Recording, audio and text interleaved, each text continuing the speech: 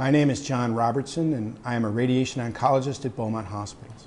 I'm also the principal investigator of the Beaumont CCOP, the Community Clinical Oncology Program, and will be speaking today about clinical trials in pancreatic cancer. First, as an introduction, I'd like to review some basics about clinical trials, specifically who designs and conducts the studies, what is the role of the NCI, the National Cancer Institute. I would also like to review some aspects of their design, and we'll talk about the phases of clinical trials. Fundamentally, clinical trials originate from one of three sources. One source are the cooperative groups.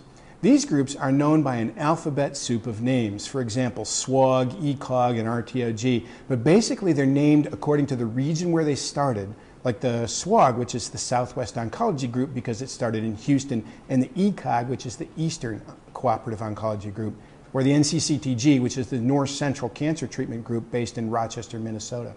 Or they're also named by the type of disease that they treat, like the GOG, which is the Gynecologic Oncology Group, or the Children's Oncology Group, the COG. Or they're also named by the modality that they study, like the RTOG, which is the Radiation Therapy Oncology Group. Another major source of clinical trials are the industry-sponsored studies. Although we often think of these as pharmaceutical trials, it is important to remember that new devices also often need testing. The last source are investigator-initiated studies in which a doctor or a group of doctors, usually at a single institution, design and conduct the clinical trial. For years at Beaumont, we've had a number of investigator-initiated studies for pancreas cancer. The National Cancer Institute provides a major portion of the support for clinical trials. The NCI is part of the National Institutes of Health and ultimately the Department of Health and Human Services and is responsible for the coordination of the National Cancer Program. They use part of their budget of over $5 billion to support the comprehensive cancer centers, the community clinical oncology programs or CCOPs like Beaumont, and the cooperative groups that I just mentioned. Because of a recent Institute of Medicine recommendation, the cooperative groups are being consolidated from 11 to either 4 or 5. This consolidation is still in process, and at least right now is a bit of a hamper on the development of major national studies. Studies are basically categorized as phase one, phase two, or phase three according to their goals. A phase one study is usually a safety trial. These are often drug studies that start at a very low dose of the drug and escalate the dose as successive participants are enrolled. Sometimes a study will allow any type of tumor as long as standard therapies are exhausted, and the trial may try to identify particular tumor types that are promising. Sometimes that's already been determined, and the study will be designed for specific tumor types. A phase two study uses the recommended dose from the phase one trial and measures the efficacy in, in, a particular tumor type and stage. If the effectiveness is found to be promising, then a phase three study may be conducted. Phase three trials are usually very large, expensive randomized trials that test at least one experimental arm as determined from phase two against the standard of care. These studies form the gold standard and depending on the results can lead to fundamental changes in practice. There are some other common phases of study design. For example, a phase 1 slash 2 study is a design commonly used to avoid losing information from the phase 1 trial. By its nature, there are some participants, usually at least six, in a phase 1 trial who are, who are treated at the recommended dose. By using a phase 1 slash 2 design, the efficacy is measured in these participants and they are included in the phase 2 portion of the study. This helps the study process move faster. These studies will include an interim analysis and won't proceed to phase two unless there's some evidence of their effectiveness. Sometimes the national groups may conduct a randomized phase two study. Although you would think that randomization means it's a phase three trial, they use this design to, to decide which of two competing experimental treatments should go forward to phase three. And the trials are not large enough to determine which treatment is statistically superior. You will also see studies called phase four. These are done after treatment is already approved, but the FDA wants the manufacturer to provide more or longer or both follow-up information. One of the things that can be done in order to find out the available studies is checking at the website of the CTSU or Clinical Trials Support Unit. This is an NCI-sponsored project to promote participation in NCI-sponsored randomized phase 3 trials. When you look at this, you may get discouraged because there's only one study listed.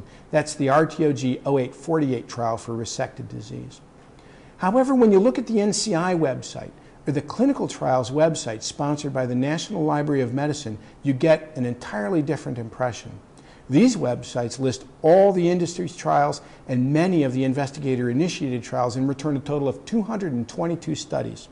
Not all of them are treatment trials for pancreas cancer, but a lot of them are. So, when looking at clinical trials, it's helpful to examine the broad categories of the science being tested. We'll also take a brief look at a couple of specific trials. These are, the broad, are basically the broad categories of scientific approaches being tested. They include chemotherapy, targeted agents, radiation therapy, and immunologic therapy, in other words, vaccines. Chemotherapy has a long history and an already demonstrated benefit in this disease. The use of chemotherapy continues to evolve, and a couple of examples of research are shown on this slide. For example, the addition of oxaliplatin is an area of active interest. Oxaliplatin is a standard drug for colon cancer and is a component of FOLFIRINOX, which was recently shown to be superior for people with metastatic disease. So one study is looking at the addition of oxaliplatin to gemcitabine when given before surgery, also called preoperative or neoadjuvant treatment. There are also studies including oxaliplatin in the FOLFIRINOX regimen. Even some older chemotherapeutic drugs can see more study. An example of this is a trial of albumin-bound paclitaxel, which is an industry sponsored trial of something already approved for metastatic breast cancer after failure of standard chemotherapy. By binding the chemotherapy drug to a blood protein, albumin, the developers have found improved availability of the chemotherapy drug.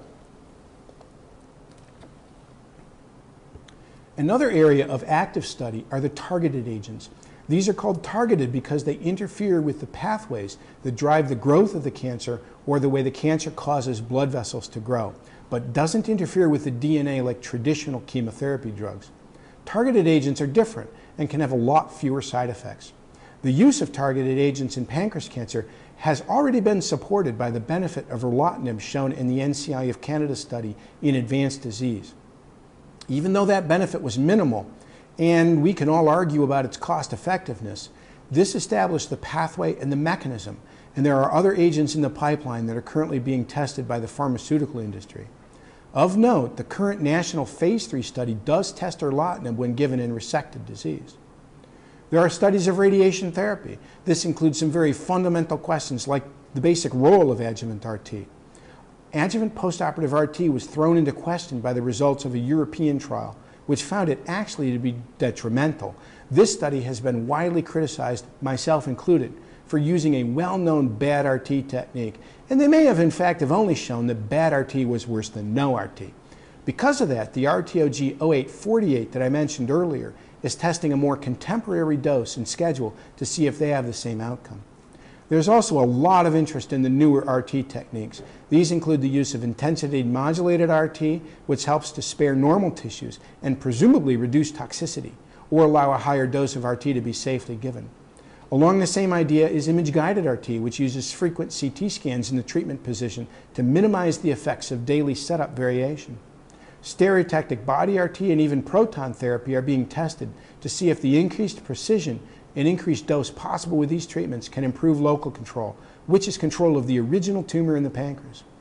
Ultimately, however, if they do improve local control, these studies will help to determine if local control actually matters.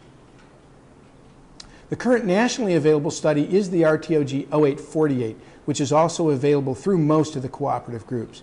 This study is specifically for people who have had a resected head of the pancreas cancer and tests two things. First, there is a randomization of adding the targeted agent erlotinib to the standard of care gemcitabine, remembering that in advanced disease, erlotinib was helpful. The second randomization is for the addition of adjuvant RT with another chemotherapy drug, 5-fluorouracil, to help make the cancer more sensitive to the radiation therapy. This is done to see if the RT helps using modern techniques. Because it randomizes twice and will answer two questions, this study has four arms gemcitabine only, gemcitabine with erlotinib, gemcitabine with RT and 5-FU, and gemcitabine with erlotinib and RT and 5-FU. This is the study that we have at Beaumont for people after surgery. This is a trial of what is called hyperacute pancreas immunotherapy, using a vaccine to hopefully induce a hyperacute rejection of the pancreas cancer. Hyperacute rejection is similar to the rejection that occurs when an organ is transplanted across species. If I had a mouse kidney transplanted into my body, it would be rapidly rejected and destroyed by my immune system. This study uses human pancreas cancer cells that are irradiated so they can't survive and metastasize. They are genetically engineered to add a mouse gene that results in the expression of a mouse protein on the surface of the cell. The goal is that when the immune system recognizes the mouse protein and hyperacutely rejects it, the immune system will also recognize other human components of the pancreas cancer and be able to immunologically reject any cell with those components as well. Frankly, for years we've had a very active investigator initiated research program studying the combination of full dose gemcitabine and RT. This has resulted in a number of research articles in medical journals and presentations to other doctors at major national meetings. One thing that we learned is that combined RT with, uh, with gemcitabine was superior to combined 5-FU and RT. This was true for locally advanced disease, but doesn't seem to be true for adjuvant postoperative therapy. We didn't find an obvious benefit with erlotinib, although we didn't have enough people for a definite con conclusion.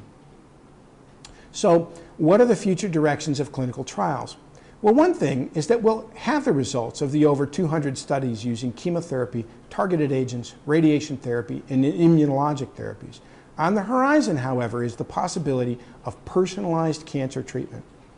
Personalized treatment is something that we will probably see a lot more of given how the price of a complete genetic analysis is decreasing.